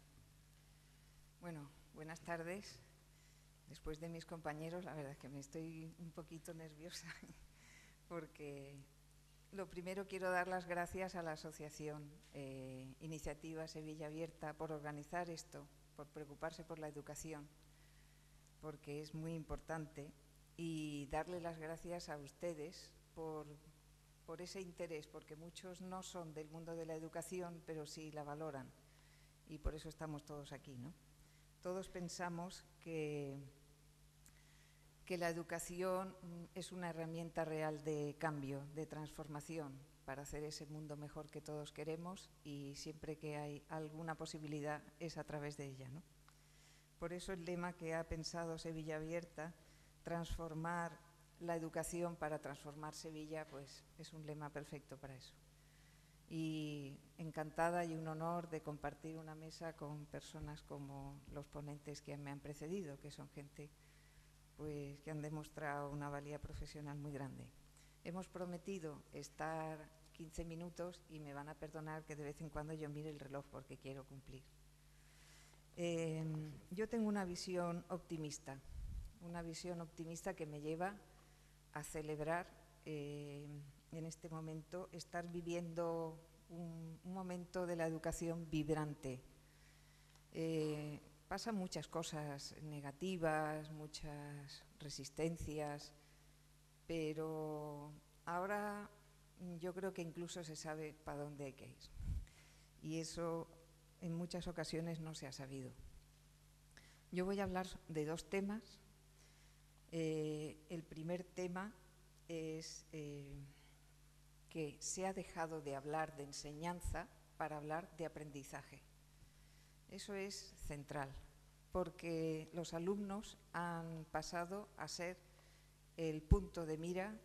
Ahora los profesores eh, somos más bien facilitadores, somos gente que acompaña, gente que, que ayuda, gente que crea el entorno, pero mm, si nos centramos en cómo aprende el cerebro, cómo es nuestro cerebro, qué le gusta, o como diría Spencer Kagan, cómo es un aprendizaje amigable al cerebro, no contrario. ¿no? Entonces, eh, ahora sí, las preguntas que nos hacemos son eh, el cómo, pero también el qué, que es la pregunta de esta noche. ¿Qué conviene aprender? ¿Qué es lo que hay que aprender? ¿Y para qué? Y ahí coincidimos otra vez los tres, ¿no? Eh, bueno, voy a usar la presentación ya que la he hecho. Perdón. Aquí es que el ratón... Ah, voy a usar esto.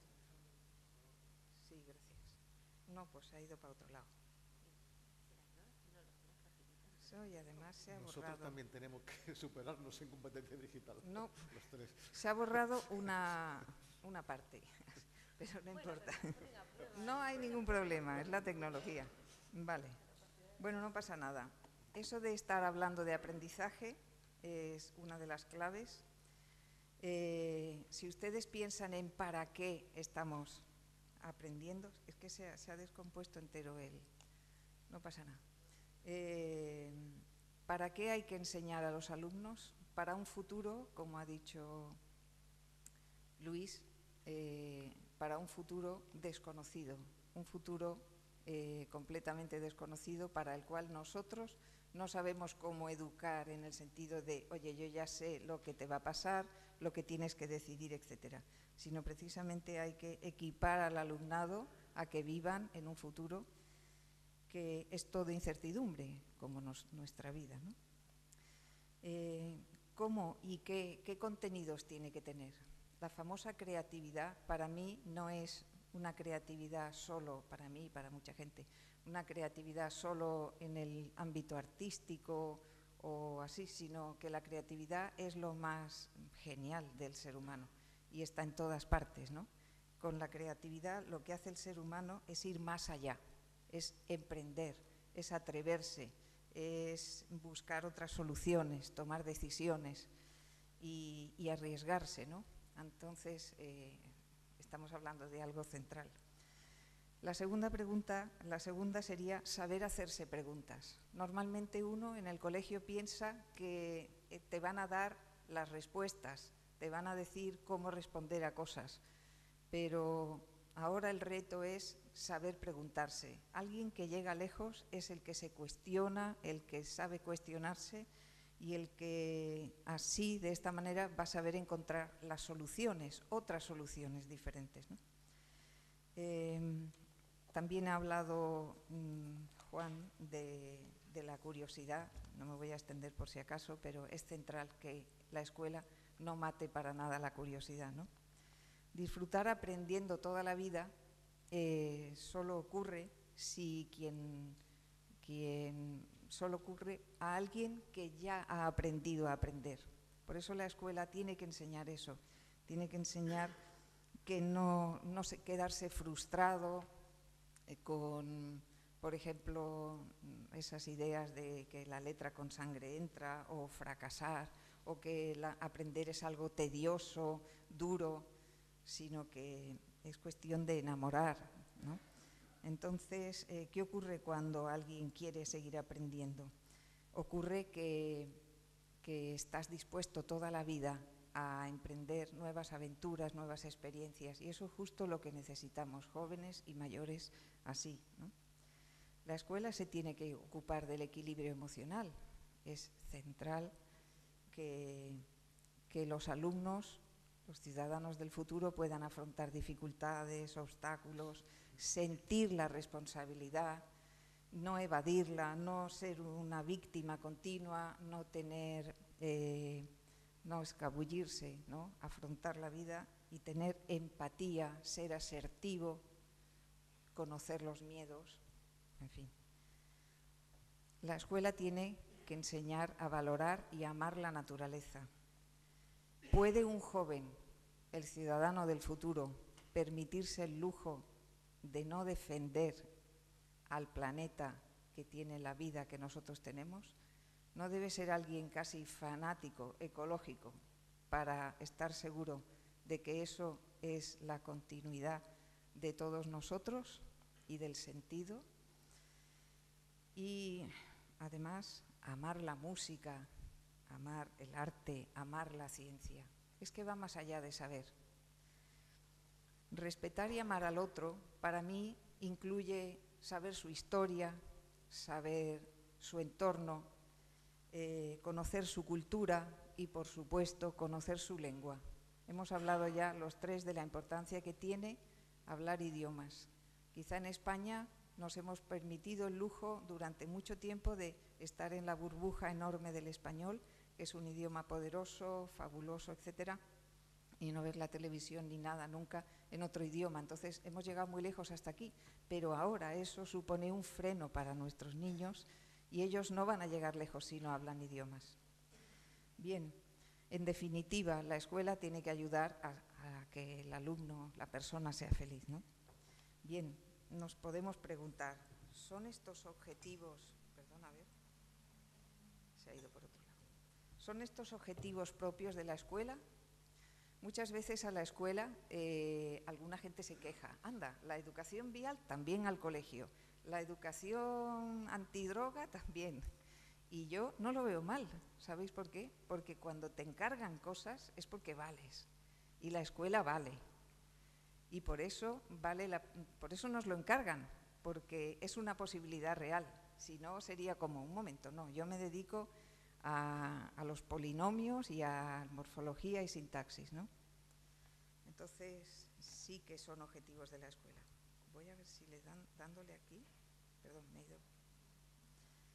Vale. Bueno, pues es que esto está, perdón, está completamente. Vale. Sobrevivimos. Muy bien. Eh, son objetivos, para mí sí lo son. ¿Puede hacer la escuela algo con todos estos objetivos? Porque cuando los hemos enmarcado mmm, parecen muy potentes, ¿no? Lo que sí está claro es que hace falta un cambio.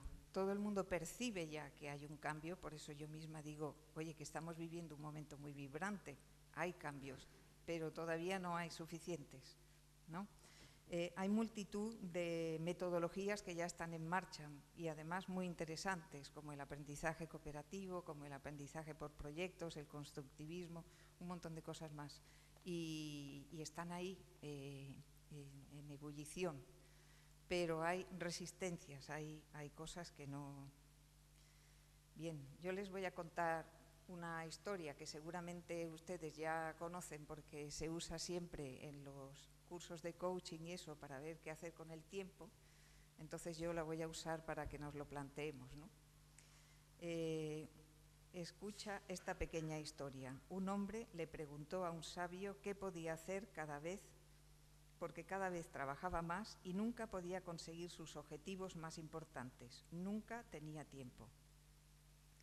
El sabio trajo un saco mediano de piedras y un gran bote de cristal. Llenó con cuidado el bote con las piedras y le preguntó, ¿está lleno?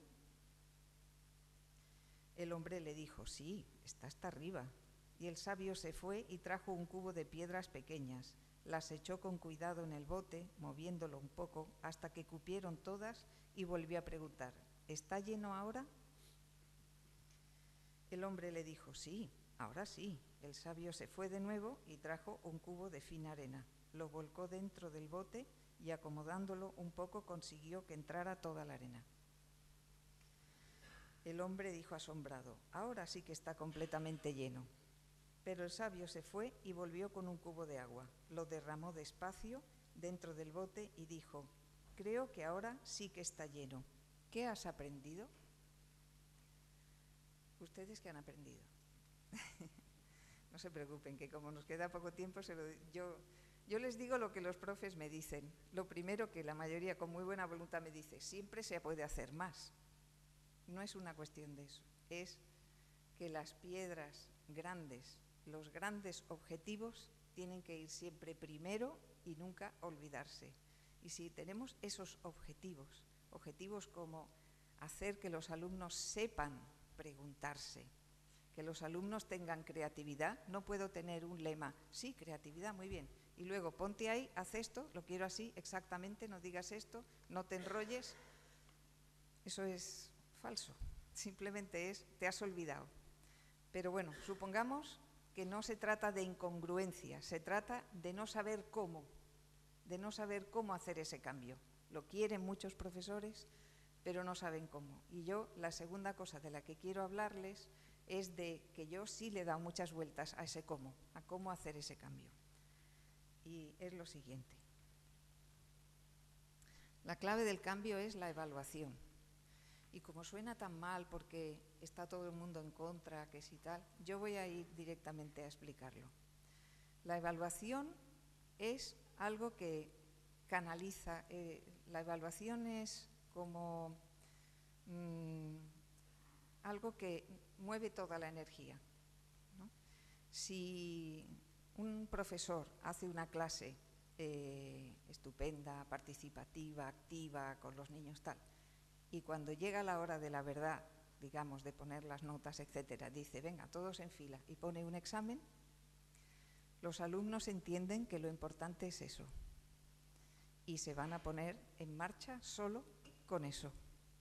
No se van a poner tan en marcha con la participación, etcétera. Entonces, la evaluación es absolutamente mm, clave para cambiar. Sería algo como bueno, esto, esto de la cucharilla se lo explico a ustedes. es que yo siempre me he imaginado que la cuchara esa que servía para abrir los botes de antes, que ahora ya casi no se encuentran, era perfecta para abrirlo, ¿no? Pues esa es la, evaluación, abrir ese bote. No sé qué ha pasado, pero se están saltando un montón de saltos que yo tenía y es que no sé, pero bueno, no, importa porque seguro que he sido yo con la tecnología. Bueno, ¿qué relación? Es que está saliendo eh, la presentación que yo preparé hace dos semanas, que la he cambiado muchísimo, pero no me importa, ¿eh?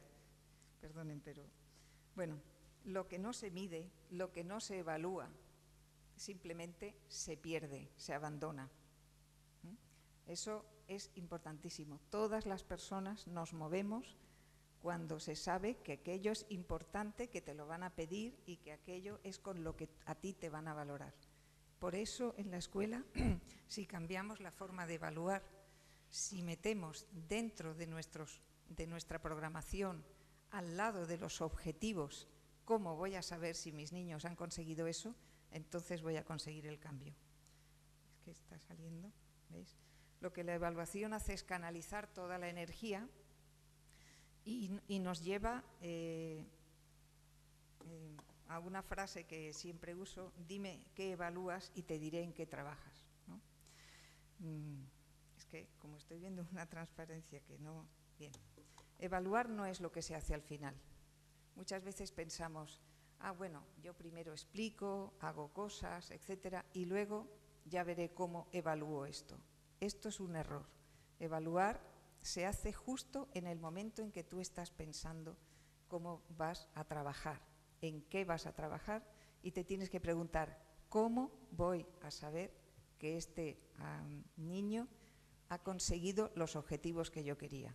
Claro, estábamos hablando de poner las piedras grandes, estábamos hablando de esas cuatro o cinco ideas de la creatividad, de saber hacer preguntas, de amar al otro, de, de hablar idiomas no podemos tener unos objetivos tan grandes y luego reducirlo a cuando llegue el final lo pregunto de cualquier manera, con preguntas del libro, etcétera, y, tratar de conseguirlo. Es inviable. Por eso, si cambia la evaluación, de verdad va a cambiar. Pero esto tiene muchas resistencias. La evaluación tiene resistencias porque, por ejemplo, las familias de niños que van bien, que sacan buenas notas, no quieren que haya cambios. Oye, entonces, ¿qué va a pasar? ¿Cómo se va a ver la nota? Eh, porque en un examen se ve clarísimo, pero en un trabajo, y si se lo ha hecho su padre, y si ha venido no sé quién, y si mi niña, en fin, montones de cosas, porque todos pertenecemos, más o menos todos, porque somos, bueno, yo soy más mayor, pero la mayoría de los que estamos aquí pertenecemos a una cultura académica que nos tiene cogidos, porque es lo que hemos visto cuando éramos niños, lo que hemos visto en la universidad, lo que hemos visto aplicar en, en, todas partes, y entonces cómo aprender de otra manera y cómo evaluar de otra manera, si no lo has vivido, no, no te es fácil. ¿no? Entonces los padres resisten, los niños que van bien también quieren cosas concretas. Sí, sí, pero ¿qué entra? ¿Con qué me puntúas? ¿Qué vas a hacer? Y el sistema en concreto la legislación también va en contra. ¿no? Por ejemplo, uno de los defectos para mí de la LOMCE es que esté lleno de, exámenes, prueba de niveles. Porque cuando haces eso, lo que ocurre es que la gente dice, cuidado, que viene una prueba, me voy a dedicar a preparar a los niños para esa prueba. ¿no? Y, y parece que te olvidas ya de lo que es aprender, de lo que es todo, ¿no?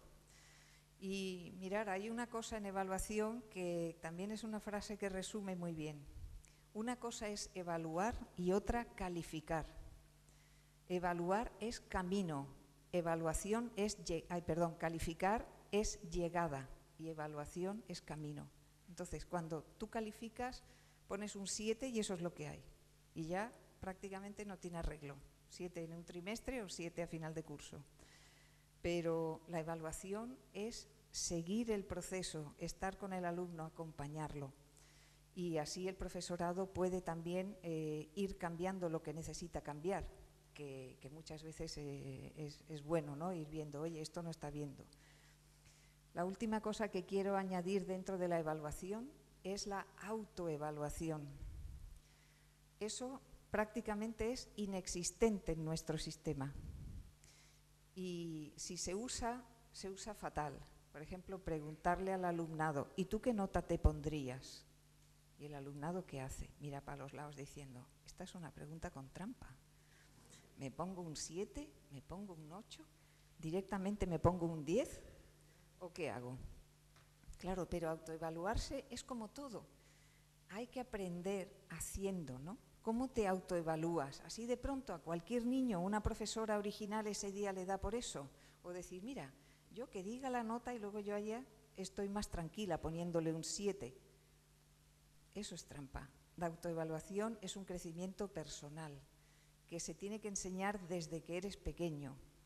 Es para mm, ser crítico contigo mismo sabiendo que los errores son para aprender, que es otra cosa que hay que cambiar. ¿No? podemos corregir ni pensar que vamos a cambiar haciendo los exámenes de toda la vida. ¿no? Es que eso es imposible. Mientras el sistema de evaluación sea el examen. Los exámenes no sirven. No sirven en absoluto. Yo soy anti-examen de toda la vida. Porque un examen eh, no sirve para evaluar destrezas, que es lo que queríamos conseguir, no sirve para evaluar nada relacionado con la vida real, que es lo que queremos conseguir también, y no sirve para que el alumno meta ahí su creatividad, eh, sepa manejar información, todo lo que se ha dicho en esta mesa hoy. El examen es eh, como, como, un mulo con, de estas cosas que se ponían antes para que no se espantara. Y, además, bueno, que en dos horas, por ejemplo, si a un alumno le preguntan algo que un profesional en la vida real puede hacer tranquilamente una tarde consultando todo, ¿qué hace un alumno haciendo eso en dos horas en plena tensión, en una fila, que se te acaba todo, no puedes usar tal ni cual? Es todo al revés. Por lo tanto, si cambiáramos la evaluación, conseguiríamos dar un, empujón fuerte a una pared que nos tiene cogidos. ¿no? no sé cómo voy de tiempo, creo que ya, ¿no? Ya me he pasado. Regular. Bueno, perdón. Ya estoy acabando. Tirando mal. Uy, fatal. si me, quiere, pues me, ha, desconcertado. Ea, ah. ya está, mira, ¿Eh? este es el final. Bien, muchísimas gracias, María Teresa.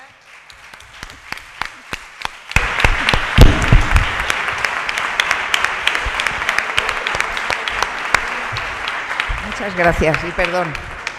Muchísimas gracias María Teresa por tu adaptación, flexibilidad, versatilidad, cómo se nota que las nuevas tecnologías son, son las que son, pero las personas también estamos ahí para adaptarnos. Quiero recordarle a todos ustedes que pueden hacernos llegar las preguntas que consideren pertinentes. Eh, el acto termina a las nueve y media y quiero... Ah, ya la organización me está dando un poquito más de margen de maniobra. Organización, ¿hasta qué hora? Porque yo como buena ejecutiva, coach ejecutiva, tengo que marcar un objetivo concreto. Hay 45, nos vamos, porque después tendremos oportunidad de comentar todo este tipo de cuestiones, pues eh, por cortesía de la Fundación Cruz Campo, tomando una cervecita y tomando una tapita. Por lo tanto, eh, todas estas, yo sé que se han abierto muchas dudas, muchas cuestiones, muchas mm, eh, inquietudes y evidentemente las vamos a dar respuesta, eso sí, en sucesivos ciclos de conferencias, eh, tanto el tema de la evaluación de resultados, el tema de la formación en valores, el tema de la utilización de las nuevas tecnologías, el tema de la eh, si realmente la formación de profesorado, el sistema de evaluación, todas estas cuestiones van a ser específicamente abordadas dentro de nuestra dentro de estos ciclos de conferencias. Por lo tanto, gracias a todos los ponentes por haber estado tan a la altura de, su, de nuestras expectativas. Y yo hago una pregunta en general a quien me quiera contestar, porque aquí habéis hablado de generar valor, habéis hablado de medición y evaluación. Eh, yo estoy viendo que la, pasión y el tiempo pues, a veces no está muy bien relacionada. Eh, mecanismos de autoevaluación. Yo hago la misma pregunta.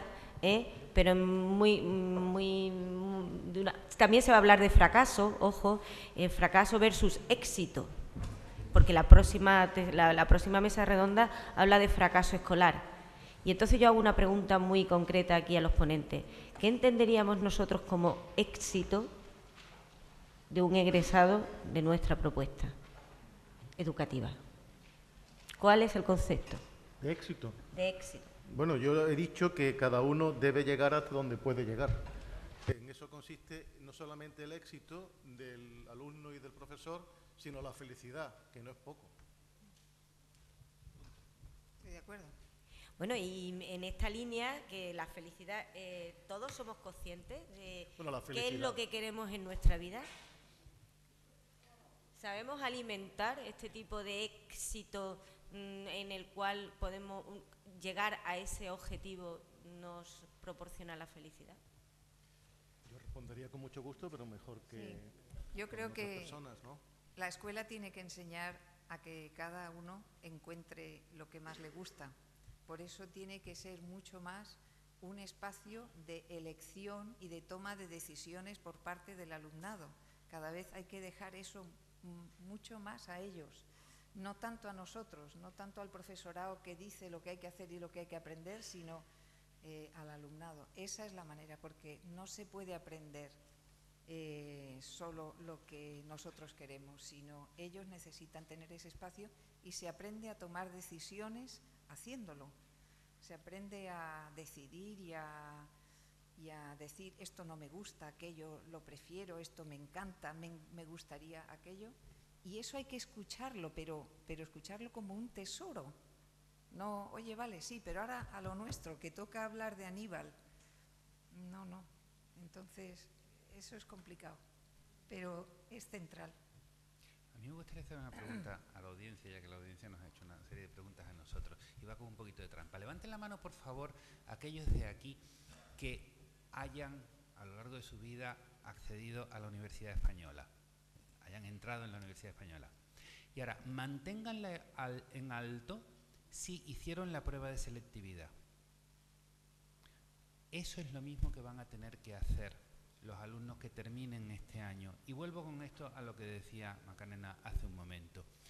Uno enfoca la educación en función de la evaluación. Miren ustedes, llevo 25 años de práctica docente después de haber hecho mi carrera. Y a mis alumnos los van a ordenar de la misma manera en el acceso a la universidad? Estamos locos. Estamos canalizando al sistema educativo de la misma manera, hacia el mismo fin que cuando yo empecé el BUP en el año 80 y antes. Hay que dar eso. Bueno, pues en esa línea se han manifestado algunos de los que están aquí. Bueno, ¿alguno de vosotros quiere contestar a mi pregunta? ¿Tenemos claro? El modelo de éxito, mm, muy claro no, pero yo tengo una anécdota personal y es que cuando estudiaba bachillerato em, había un profesor que, sin ser excelente profesor, era el profesor de literatura, entonces ah, teníamos distintas materias, literatura y lengua, y mm, me enganchó de tal manera que a partir de ese momento me di cuenta de que yo tenía que dedicarme lo más posible la literatura. Entonces está claro que muchas veces somos mm, detonantes de ese éxito. Tenemos la responsabilidad de motivar al alumnado de manera que encuentre algo que les haga eh, volcarse en eso y por lo tanto encaminarse hacia lo que, eh, verá, a lo que se puede llamar éxito, no, pero porque éxito es otra cosa, ¿no? Pero quiero decir, eh, satisfacción personal. Satisfacción personal. Claro. María Teresa. Bueno, para mí el, éxito eh, es, mm, a veces pensamos que éxito es, no sé, muy llegar a algo muy importante y yo puse abajo ser feliz. Ser feliz es, es mm, no sé, es como la base de la vida, ¿no? Para vivir en sociedad, compartir, crecer, seguir aprendiendo. Yo no sé, yo creo que, que, ese, que ese sería el éxito, ¿no? Poder construir una familia si quieres o quedarte soltero si quieres y vivir en el extranjero, manejarte, yo qué sé, es que no puedo aportar mucho porque creo que cualquiera aquí piensa lo mismo del éxito. Para mí el éxito no es llegar a nada grande que, dependa de otros, de ti mismo, eso sí. Entonces la autoestima, por eso la autoevaluación, el, empoderar, que es una palabra que hemos metido del inglés, Empoderar al alumnado es darle de verdad poder, pero ese poder hay que dárselo. En la evaluación bien hecha sí se da. En un examen típico no se da, que te quedas así, como me Mientras plantea, como veo que aquí hay mm, bastantes docentes y en ejercicio, eh, decir que lo que cuentas está muy bien y estamos de acuerdo, pero tenemos una ley restrictiva que hace que la evaluación por derecho deba ser objetiva. ese absurdo de evaluación objetiva hace que tengamos que seguir empleando los mismos eh, métodos de siempre. Y por lo tanto, siendo como es lo tuyo totalmente objetivamente bueno, no podamos acceder a ello porque tenemos la obligación, porque es un derecho reconocido en la LOE y en la LEA eh, para las familias, de que la evaluación debe ser objetiva y ponderada ahí tenemos un gran problema. Sí, de todas maneras, como hoy no es el tema, pero ahora ya se han desarrollado muchos, muchos métodos de evaluación objetiva que no sean usando exámenes, muchos, gracias a Dios. Y entonces lo, que hay que dar es el salto, ¿no? Y no es el tema, no quiero incidir en eso, pero, pero se les dejo esa pregunta porque ya verán que, que será el futuro. Bueno, pues yo voy a aquí a hacer un pequeño resumen de las preguntas que me han hecho o que nos han hecho, nos han hecho llegar desde las distintas instancias. Hay algunas relacionadas con la formación del, profesorado y con el entendimiento de la, de la mm, cualificación profesional de la persona que está al frente de un sistema educativo. No vamos a llamarlo solamente profesor, sino también puede llamarse eh, ¿Necesita el profesorado desaprender? ¿Dónde y cómo se hace? Eh, también preguntan cómo salvar la resistencia que presentan los profesores hacia la formación, y yo añadiría continua, bueno, inicial y continua.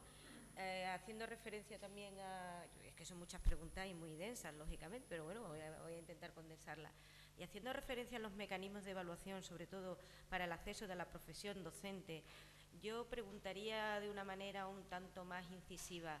Eh, nos miden en función de nuestros conocimientos, nos miden en función de nuestras actitudes, pero hay mecanismos para detectar cuál es la vocación real que tenemos para desarrollar una profesión tan importante en la vida de los seres humanos como es la profesor, la profesión de la educación complementaria siempre a la educación familiar, eso no lo podemos nunca ¿eh? dejar a un lado, pero hay mecanismos que sirven para detectar ese grado de vocación y poder eh, discriminar el, al acceso en el desempeño de esa profesión. Empiezo por el principio e intento concentrar la respuesta. ¿Debe el profesor desaprender? Miren ustedes, todo aprendizaje en alguna faceta es, un, es una corrección, desaprendizaje si quieren ustedes decirlo, o una corrección de lo anterior cuando Colón se echó al mar, pues hubo pruebas de que se encontró cosas que no se sabía que estaban. Desaprendió Occidente, bueno, aprendió, avanzó. Eso es lo que tenemos que hacer. Como yo no conozco a ningún profesional de mediocre para arriba, de mediocre para arriba, incluyendo los mediocres, que no quiera hacer las cosas bien. De hecho, conozco a muy pocas personas que quieran hacer las cosas mal, de manera realmente empeñada. Tenemos que dar ocasión de formación inicial y permanente y tenemos que hacerlo de una manera que sea efectiva, que sea realmente útil. Y eso generará esa corriente de voluntad de formación. En cuanto a la vocación, miren ustedes, yo creo que la vocación eh, hay quien la tiene muy clara desde muy pequeño. Don Juan Andivia en una entrevista que le publicó, una fantástica entrevista que le recomiendo que le publicó ayer, a veces dice, es que hay personas que si no sirven tendrán que hacer otras cosas, porque es demasiado gordo lo que hacen en un aula si realmente no lo hacen bien. Y tendremos que evaluar exactamente igual que si hay un médico al que se le están quedando los pacientes en la mesa de operación uno detrás de otro, pues algo habrá que hacer, ¿no? Sí, yo concretamente no decía, porque claro, la entrevista ya saben ustedes, te ponen la grabadora y luego la periodista. Eh, yo decía, eh, bueno, el titular era el control, yo no hablaba de control, hablaba de, evaluación. Yo decía que el mm, profesorado pues debe acostumbrarse a una evaluación que le sirva para mejorar los resultados, para conocerse, para conocerse mejor, y si en una institución, un centro, vemos después de un tiempo, de 25 años o, o el tiempo que sea, que este profesor él mismo se siente frustrado, no encuentra las claves, pues ¿por qué no dedicarse a otra cosa relacionada con la educación? Es lo que yo dije. Es decir, hay otros, puede ayudar en orientación, puede ser un cotutor, puede entrar para apoyar a los alumnos. Seguramente habrá algo que hacer. Yo no pensaba en absoluto echarlo de la función pública. Lo que pasa es que eh, los titulares pues fueron algo así como eh, yo pido más control. No, no, yo control no pedía. ¿eh? Control, esa palabra no salió de mi boca porque no se necesita controlar que es ver si uno está haciendo lo que, lo que tiene que hacer, sino si lo está haciendo como lo debe hacer, que es otra cuestión distinta. Evaluar sí, pero controlar no. Entonces, evidentemente es importantísimo el, evaluar, pero no controlar. Hay una gran diferencia, ¿verdad? Sí, sí, sí, totalmente de acuerdo con que hay una diferencia. Mientras el control es una cuestión puramente cuantitativa, eh, la evaluación es una cuestión ya más cualitativa y que entran otros aspectos perdona que te interrumpe. Es que eh, los, quienes estamos eh, a diario en las aulas y llevamos mucho tiempo, sabemos que hay compañeros que no son felices, que se encuentran mal, que no saben qué hacer, que eh, ellos son los... Es la generalidad, que la mayoría de las veces se les va la clase de las manos y se sienten frustrados. Y entonces la cosa no va bien. Pero la enseñanza pública concretamente se salva porque hay muchos profesores que se dejan la piel y que hacen las cosas mucho mejor de cómo se las enseñaron, que por su cuenta se forman, que miran los cursos del CEP y dicen, muy bien, pero él se va por otra parte y busca las fuentes que decíamos antes y va a Chile, por ejemplo, y se encuentra que en Chile sí hay un programa de evaluación del profesorado, porque Sudamérica en este aspecto está trabajando muchísimo, y no digamos Perú también, que hablábamos el otro día en, Madrid, ¿no? Y, y sí ve las cosas. Entonces, este, este, este profesorado ilusionado, motivado, que transmite ilusión, hace que se salve el sistema y que tengamos los resultados que tenemos, que son bastante buenos. Lo que está claro es que hay un desconcierto absoluto entre normativa, entre eh, lo que tenemos que hacer, lo que nos piden hacer, lo que nos exigen hacer. Y por eso, siendo la educación como es un tema tan importante, habría que empezar a sentar las bases y con paciencia llegar algún día a algún sitio. María Teresa. No, porque, bueno, yo era porque preguntarais otras cosas, ¿no? Otra pregunta cabe, eh, bueno, aquí me, me, hacen bastante, hay una muy abierta, me dicen tres medidas concretas, muy concretas, propuestas por los ponentes para mejorar a medio plazo la educación española, teniendo en cuenta que el sistema educativo está configurado por muchos agentes que están interactuando con él, no solamente son los profesores ojo, o los gestores, el sistema educativo está influenciado por muchos, muchos elementos. Entonces, claro, hacer un esfuerzo por concretar tres medidas muy específicas para poder eh, mejorar a vuestro juicio este sistema, pues es un ejercicio bastante interesante de concreción y apelo a vuestra capacidad de concreción para, para decirlo. Bueno, yo creo que la estabilidad legislativa ayudaría un montón, ¿no?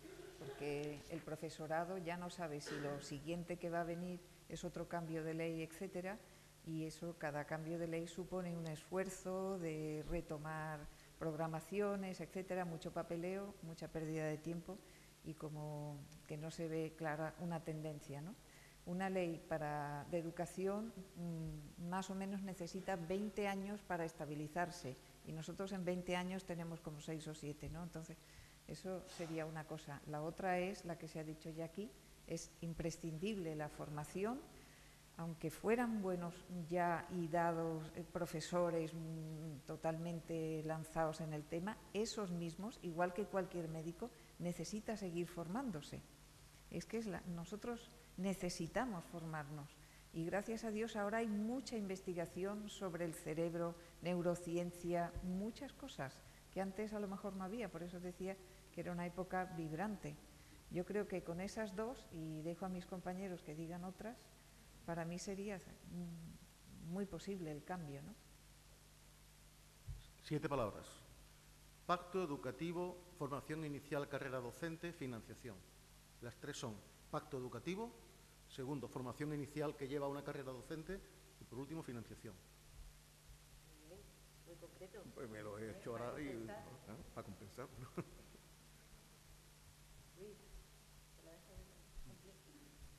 A ver, lo primero, autonomía real de los centros. Y pongo un ejemplo mm, eh, que a mí no me afecta. El que un director de instituto tenga que pedir permiso para ausentarse de un instituto es tan absolutamente idiota como pedirle a doña Ana Patricia Botín que le pida permiso a la Junta de Accionistas, por decir algo, para ir a Londres a gestionar un contrato. Exactamente igual, es el director, es el máximo responsable de una organización. Uno. Dos. Yo creo que quitar la selectividad, por lo antes dicho. Y tercero, por favor, no contemos la formación de profesorado en función del número horas de curso que han hecho. Vamos a contar la formación del profesorado en función de la calidad de la práctica docente. Muy bien, pues muchas gracias por su capacidad de concreción y su capacidad de síntesis. Todos estamos deseando ya poder compartir muchas más eh, ideas y, y nuestra opinión ahora pues deleitándonos de una cervecita fresquita y una pequeña pisco labis eh, mm, por cortesía de la Fundación Cruz Campo. No quiero dejar pasar sabiendo que me han hecho una pregunta concreta, me han hecho una pregunta concreta dirigida a mí personalmente y entonces, bueno, pues es difícil hacer, darle una respuesta así en dos minutos. La pregunta es la siguiente. Juan Andivia en su intervención ha hablado de la necesaria conexión entre el bachillerato y la enseñanza universitaria, pero situándonos en la última etapa del sistema educativo superior, ¿qué mecanismos se deben fomentar para el paso de los estudiantes universitarios del ámbito académico al empleo de calidad? ALA, así, en tres, en tres palabras, ¿qué? Lo habéis dicho vosotros, precisamente fomentar el autoaprendizaje, fomentar los sistemas de autocontrol, fomentar eh, la concepción del éxito que tenemos a nivel social y a nivel empresarial y sobre todo pues dotando a los sistemas universitarios de profesionales que tengamos verdadera vocación por conseguir que nuestros alumnos eh, desarrollen su carrera personal alineado con su carrera profesional y que lo hagan en un entorno social lo suficientemente inmediato como para poder compartir con su familia y generar más eh, valor desde un punto de vista endógeno. Yo sé que esto, eso son muchas ideas muy, muy, muy así, muy sintetizadas, pero la idea fundamental es seguir capacitándonos ¿eh? en base, de, una perspectiva no solamente cognitiva, sino también emocional y supraemocional. Bueno, dicho esto, ¿algo que añadir por algún ponente? No. por algún...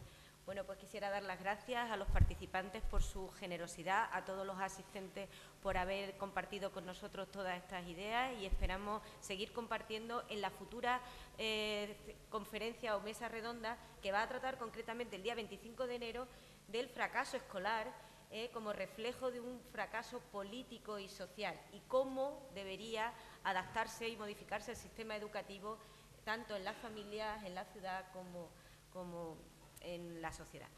Muy bien, ahí queda eso y os esperamos el próximo lunes aquí en la Fundación Cruz Campo a Iniciativa Abierta Sevilla. Muchas gracias.